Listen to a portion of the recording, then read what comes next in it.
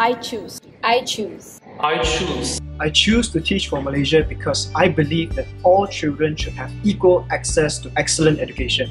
Because I believe that the future of a child should not be determined by his or her background. Because I want to inspire students by becoming a leader in the classroom. Because this is my path to policymaking in education.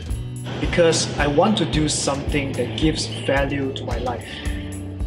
Because I want to develop problem solving skills through helping communities. Because I want to give hope to those who never had it in the first place.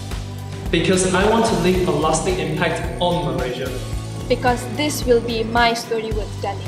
I choose to teach for Malaysia.